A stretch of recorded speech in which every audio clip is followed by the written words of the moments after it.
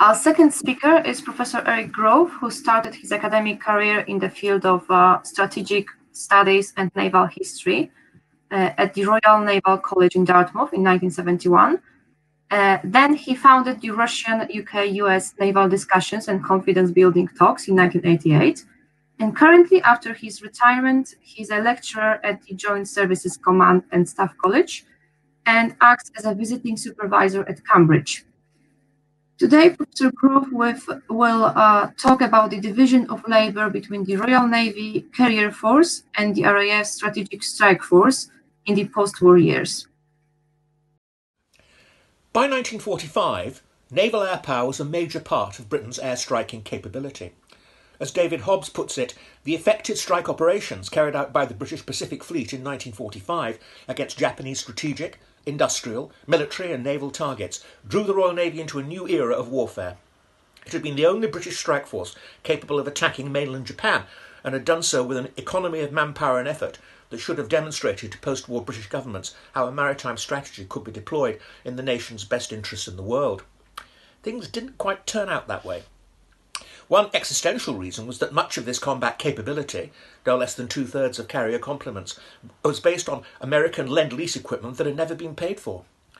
Given the dollar shortage, there was no way these could be kept in service, and these aircraft had to be disposed of, often by being simply thrown over the side. It could be argued that the British did a decision to emphasise the land based RAF as the centrepiece of, air, of its air power a decision defensible given the history of World War II, meant that Britain just could not afford this and a full scale carrier force. Almost all the Corsairs, Avengers, Hellcats, and Wildcats were disposed of by August 1946, the month the last Corsair squadron disbanded. The Royal Navy now regarded naval air power as a vital and integral part of the fleet. As a sign of this, in 1946, the term Fleet Air Arm was officially replaced by Naval Aviation. Plans for new carriers were ambitious when the war ended, with four large 46,900 ton ships uh, projected Malta, New Zealand, Gibraltar, and Africa, and three rather smaller 36,800 ton Audacious class fleet, fleet carriers laid down and under construction. The latter were improved versions of existing armoured hangar fleet carrier design. The larger ships, though, were, were different. At the request of the naval aviators, they were based on the American open hangar type so that large strikes of piston engined aircraft could be warmed up. This delayed their design, fatally as it turned out. None, none was under construction by the war's end, and two, Gibraltar and Africa, already suspended, were immediately cancelled. Under pressure for further cuts, the Admiralty accepted the cancellation of the other two ships of the class at the end of the year. Also cancelled was the third Audacious, the quarter complete Eagle. Audacious was renamed Eagle, uh, to keep the name alive, an Ark Royal was retained under her original name. During the war, the British had pioneered the light fleet carrier, smaller 13,000 ton vessels that could easily be built quite rapidly on mercantile ways. 16 were ordered, of which 10 uh, were commissioned uh, by 1946, two as aircraft maintenance ships. One, the name ship of the class, Colossus, was transferred to France to make up for partly for uh, for el Kabir and to provide a carrier to substitute for the, for the British troubled Indochina. Venerable went to the Netherlands in 1948, again to bolster a colonial power's position in the Far East. Warrior was loaned to Canada in 1946 for two years to assist in launching the RCN's fleet air arm. Glory, Ocean, Theseus, and Triumph, uh, therefore, uh, provided the backbone of the immediate post war RN carrier force, being economical to operate and able to deploy a small but significant fighter bomber air group of 24 to 28 aircraft, a mix of Seafires and Fireflies. The last six of the original order were of a slightly modified Majestic class design with, with centralised messing facilities and the ability to operate aircraft of up to £20,000. Building of these ships was slowed down. Three were put in a state of preservation in May 1946 with their contracts cancelled. A Majestic herself remained suspended, so her builders, Vickers, could concentrate on merchantmen. Only two were completed in this period. Magnificent replaced Warrior in Canada in 1948, and Terrible went to Australia as HMAS Sydney the same year. A still larger light fleet carrier, the 18,310 ton Hermes class, was also under construction. Four were cancelled, but Albion, Bulwark, and Centaur were launched in 1947 48, though completion was seriously delayed because of a shortage of electrical design staff. This class would not be completed until 1953-4. Hermes herself was, was delayed indefinitely because of Vickers merchant ship commitments. The, the completion of these of these vessels, plus the two fleet carriers, was further delayed because of the need to improve their aircraft handling equipment to take, to take new, new types and shortages in design staff to do so. It had been hoped to, to complete both in 1948, but this had to be put back eventually with Eagle to 1951, and Ark Royal would not commission until 1955. The importance of these ships uh, was that, they had been built to operate aircraft weighing up to £30,000, notably the new strike aircraft, the single engine Fairey Spearfish, and the twin engine Short Sturgeon, supplemented by a navalised Mosquito. The emphasis was on range rather than outright performance. The planned, planned totals of these types were, uh, was about 200, together with 80 to 100 rather smaller Blackburn Firebrand single seat torpedo bombers. The fighter force would be 385 aircraft, Seafires, Fireflies, twin engine Sea Hornets, Sea Furies, uh, and eventually the large Westland Wyvern, which was having serious development difficulties. At this point, the Wyvern seems to have been thought of as a long range fighter uh, rather than the, the Firebrand torpedo fighter, a replacement it later became. The Wyvern's problems led, led to an order for 150 Seafang fighters, a naval version of the Spiteful as a stopgap. There was also a Fairey design for a tandem turboprop strike fighter, N1645. The problem with this program was that the latest aircraft types simply wouldn't fit into the existing fleet carriers. Either they were too wide or heavy for the lifts or too tall for the hangars. Illustrious, intended as a deck landings trial carrier, and its lift, barriers and arrestor gear modified in 1945-46 to take 20,000 pound aircraft, but it was still limited in the types it could operate. With £30,000 carriers still years away and the Treasury crying out for savings, the Sturgeon and Spearfish were effectively cancelled as operational types. The Seafang went in 1946 and the Fairey Strike Fighter design the following year. The Firebrand was so troublesome that the 1st Squadron 813 disbanded after a year trying to cope with the aircraft in 1945-6, reforming with a new version in 1947, but the squadron only became fully operational in 1949. In August 1946, naval air strength was down to a mere 122 op- operational aircraft, little more than 10% of the total a year before. Even of this total, the Seafire fighters were temporarily banned from carriers because of supercharger problems. No carriers were deployed that month. Three light fleet car- carriers, Glory, Ocean, and Theseus, were back at sea in September, but with temporary all Firefly air, air groups. The two seaters provided a useful, if low performance, general purpose capability, but this was hardly a powerful striking force. The, the Seafires were back by the end of the year, improving air to air capability at least. The most powerful operational RN strike aircraft was the Sea Mosquito TR 33, which appeared in April 1946 but was unable to operate from any carriers, and its parent formation, 811 Squadron, disbanded in July 1947 after service ashore. In 1947, the Chiefs of Staff uh, decided that war was unlikely in the next five years, although the danger would grow to 1957. Fleet planners therefore accepted a fleet capable of training and maintaining. Uh, fleet planners therefore accepted a fleet capable of training and maintaining overseas commitments. Refits to carriers would be, uh, would be reduced to, to a minimum, an old aircraft like, like the Barracuda used. The second line 724 Barracuda ASW training squadron was duly reformed as an operational ASW squadron, number 815, and operated from carriers on exercises for some years a replacement would, uh, would be limited to those aircraft of all types that were completely worn out. The economic crisis of 1947 saw much of the fleet temporarily, temporarily immobilised at the end of the year. There was only one operational carrier, Triumph, in the Mediterranean, with 12 Seafires and 16 fire, Fireflies embarked. 1948 saw something of a recovery in the context of the beginning of the Cold War. The force goal was set at, at one fleet carrier, HMS Implacable, already modified as a deck, la- a deck landing training ship and capable of operating most available aircraft.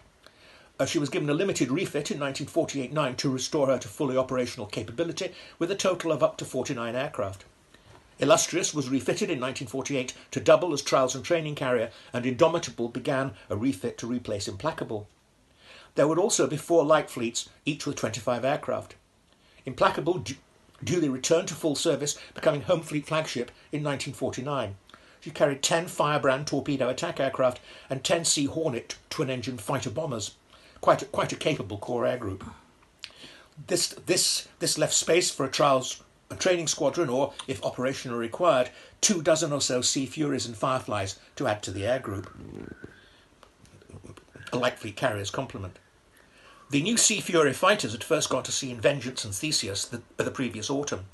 The, flex, the, flexible Firefly and improved versions continued to fulfill fighter reconnaissance and light strike roles as a complement to single seat fighters in the light fleet carrier air groups.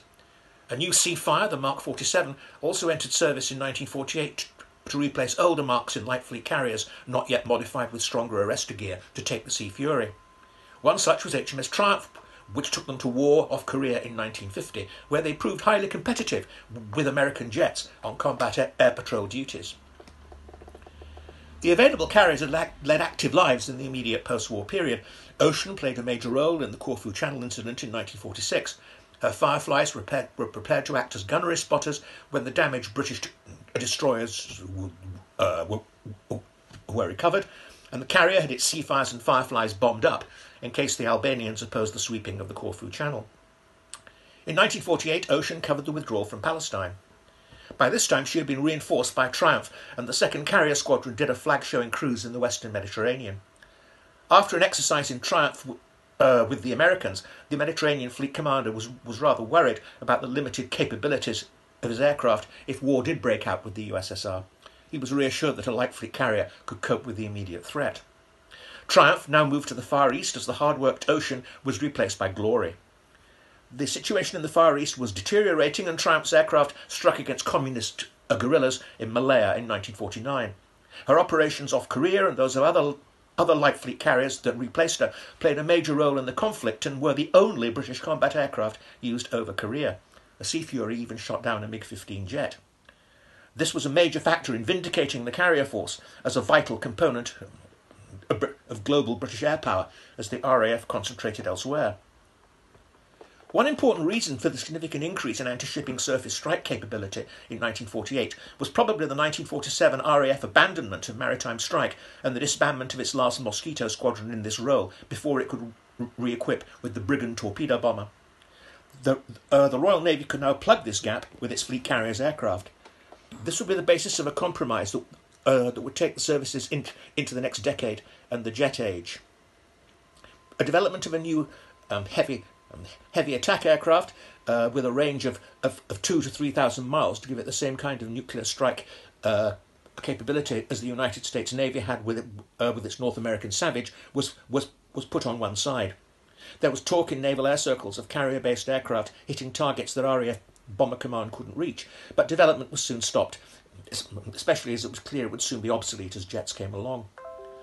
Long, long-range nuclear strike in the, in, the, in the Royal Navy would have to wait for, for another 10 years or more. The, the new First Sea Lord, Lord Fraser of North Cape, who took office in 1948, was no fan of long-range carrier strike. He saw carriers uh, dealing with air and subsurface threats in defence of merchant shipping in the Atlantic and Mediterranean. This was held to require a front line of 75 day fighters, currently Seafires, Sea Furies, and Sea Hornets, 28 night fighters, Fireflies and Sea Hornets, and 75 anti submarine aircraft, Barracudas, and a new version of the ubiquitous Firefly, not a competitive long range strike capability. The av- available firebrands, up to three squadrons, it was hoped, along with surface ships, would deal with whatever surface threats appeared. Such capabilities compl- uh, uh, uh, complemented the RAFs rather, rather than competed against them. It was a division of labour that Britain could actually afford. Nevertheless, the success of British carriers in, in power projection during limited war operations in the Far East threatened to cause inter- future inter service conflict. A growing factor in naval plans was the advent of jet uh, jet uh, propulsion. One reason for the delayed completion of the new carriers was the need to further modify the designs to take the next generation of aircraft. As early as December 1945, a de Havilland Vampire prototype landed on HMS Ocean and production was considered. There were doubts, however, about problems with jet wash, high landing speeds, and the Vampire's limited range. Naval aviation was always very range conscious. Twenty modified Sea Vampires with hooks and strengthened undercarriages and fuselages were ordered in 1947 and were delivered the following year. They equipped two second line squadrons in 1948 to, to, to evaluate the dynamics of jet carrier op- operations. They were used in experiments on HMS Warrior, just returned from uh, uh, from Canada and, and, fitted with a flexible deck for wheels up landings, but this form of op- operation was not adopted, as although it had some advantages, it would slow down operations too much. One of the squadrons of, of the Vampire squadrons operated for a period in a more conventional way from the fleet carrier Implacable in late 1949. An interim operational jet fighter was under development, the Supermarine Attacker, but almost inevitably there were development problems and the aircraft didn't enter, enter service in Eagle until 1951. The, R- the RN's uh, uh, preference was Hawker's longer range N746, the Seahawk, but again, uh, this was delayed by, uh, by the decision to. to, to uh, sorry, but, but again, uh, this was delayed, and the decision to go for the attacker as backup vindicated. Early work was being done by, uh, by Supermarine on a high speed interceptor N947, which eventually became the N113 Scimitar. The emphasis was, was, was clearly on combat air patrol, although the fighters could be used as fighter bombers. Indeed, the Scimitar became the Royal Navy's first, first, first nuclear strike aircraft. Fairey and Blackburn competed for a three seat ASW aircraft, the GR 1745, that eventually became the Fairey Gannet. Fairey got the contract apparently to compensate them for the cancellation of their strike fighter, in which they had invested a considerable effort, an interesting further substitution of ASW for strike cap- capability. Gannets, however, didn't enter service until the end of 1950s, and interim ASW types were therefore required. Given the failure of yet another Firefly variant, a three seat ASW type, the RN had to go back to the Americans to, to procure the Avenger, now available affordably as military aid as an ASW aircraft to replace the, uh, the, uh, the obsolete Barracuda and Firefly. America had also provided vital Skyraider airborne early warning aircraft. American aid was thus again crucial to, uh, to the RN's air power. So the irony was complete. The Royal Navy's aviation had, as it were, steamed a full circle.